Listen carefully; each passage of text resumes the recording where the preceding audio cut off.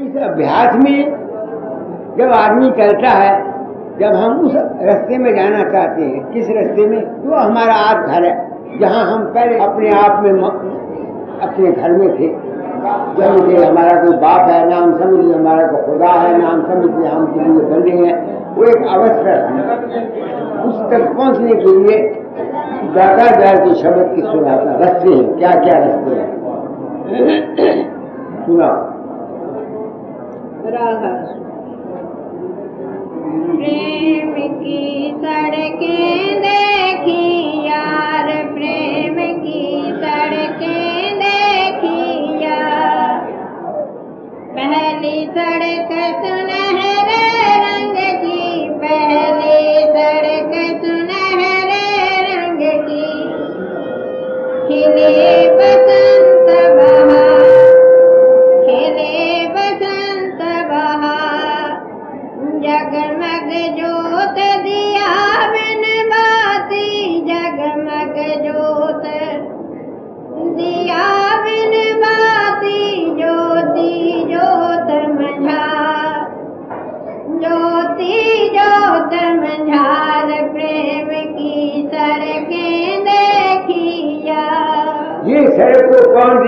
सकता है? जो दुनिया में काम करता हुआ थक गया हो। ये मार्ग आम दुनिया के लिए नहीं है। ये मार्ग उनके लिए है। विश्व से जो हुए उदासा। पर मार्ग की दामन आशा।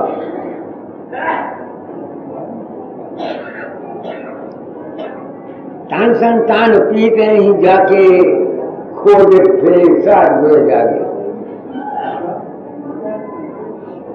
जब तक ये हालत किसी आदमी की नहीं आई, उसको इस तरह लगाना, उसकी ज़िंदगी को बर्बाद करना है। पहली तालीम संतों की यह है, दुनिया में काम करो, बढ़ो। राइट ब्रह्म बनो दादा कहा करते पहले बढ़ो। जो शख्स दुनिया में कामयाब नहीं, दुनियावी ज़िंदगी में। वो रूहानी ज़िंदगी में कामयाब नहीं हो सकता। मैंने सुबह कहा था, मैं अभ्यास के मुताबिक कहूँगा, शर्त बताता हूँ, हम लोग नाम ले लेते हमारे देश से दुनिया में जाती नहीं। मेरे पास कितनी औरतें आती हैं, कोई कहता पोता है नहीं, कोई कहती पोता है नहीं। सबसे पहला दुख तो रोटी का है। परागंदा रोटी परागंदा देव। जिसकी रोटी का ठिकाना नहीं, वो इस तरफ़ नहीं आ सकता। और मैं चबर चबर चबर चबड़ बातें करता हूँ। इसलिए कि खाने का फ़िक्र नहीं है। अगर फ़िक्र होता, फिर मैं इस तरह से बोलता तो मैं अपनी बहादुरी समझता। ढाई सौ रुपया लड़का फेंक देता। दो सौ रुपया कटनी वाले दे देते। चालीस रुपये दुर्गादास दे देता। पचास रुपये एक ओम प्रकाश है। पाँच सौ, सवा पाँच सौ रुपया घर में आ जाता, खर्च चलता, इस वास्ते न दुखा बना हुआ हूँ। जिनके पेट में रोटी नहीं है, वो क्या अभ्यास करेंगे? बताओ मुझे। नैयर मैं बात सोलाने कह रहा हूँ।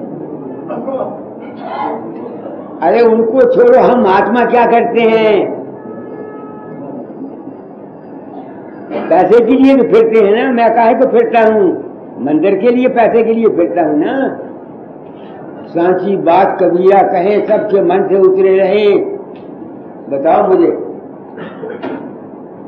इस बात से सबसे पहला मिशन जो है वो ये है कि हर शख्स को अपनी कमाई पहले करनी चाहिए, राम नाम पीछे।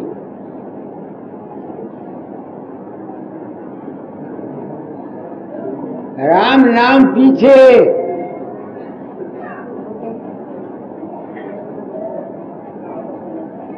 मेरे छोटे भाई राय साहब, आठ नौ वर्ष की उम्र में दस साल, पाँच सात में पढ़ता था, नाम ले आया।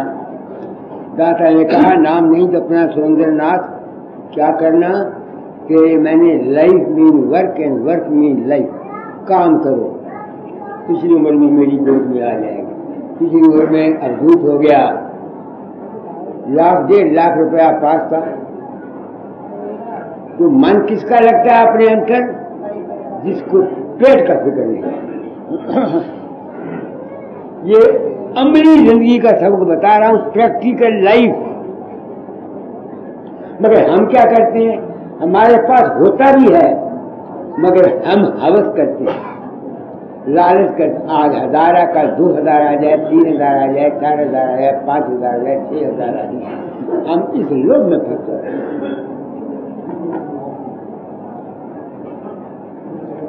आप लोगों को सत्संग करा रहा हूँ। नौजवान बच्चे, इनको बजाय राम राम के पहले दुनिया में काम करना सिखाओ। एक्सेप्शन अलग अलग होती हैं, वो खास खास प्रकृति होती है। तो जब इंसान को दुनिया में वैराग आ जाता है, फिर उसके लिए ये प्रेम मार्ग है, उसमें चार रास्ते ये दाता दार का शब्द है, मेरा नहीं। चार सड़कें हैं। किन के ये सड़क होगी जिनको पेट का सम्मान है। एक, जिनको दुनिया में वैराग है, वो समझते हैं कि एक दिन हमने चले जाना है। अपनी आँख बस सुना दो। उनके लिए ये मार्ग है हम भी आजकल तो महाराज हम गुरुओं ने तुम लोगों को तुम्हारे कल्याण के लिए नाम नहीं दिया। अपने डेरे, अपने मान, अपने धाम के लिए तुमको नाम दिया है। मेरे दस हज़ार चेले, मेरे पचास हज़ार चेले, ताकि हम नाम तुमको दिया, नाम अपना रोशन किया। ये है आजकल का गुरुइज्म सबने बात को पर्दे में रखा, अधिकारी मिला, उससे सेवा दी उसकी खिदमत देखी, फिर पीछे से कान में सच्चाई बता दी और फिर कह दिया, कर्मदास तो लाख दुहाई, सार भेद नहीं, बाहर जाई। स्वामी जी ने कह दिया, संत बिना कोई भेद न जाने, पर वो तो है कहे अलग में वो ध्यान इस वास्ते थे कि जिन्होंने उनकी सेवा की, उनको तो राज बता दे, मैं परम दयाल हूँ, कोई सेवा करे या ना करे, कोई मांगे या ना मांगे, मैं मुफ़्त में दर्द बताता हूँ, राज बताता हूँ। पेड़ बताता कि असलियत दोस्तों ये नहीं, ये। तो नाम किनको रखना चाहिए? कौन वो सच है? और जिनको खाने के लिए ठीक है।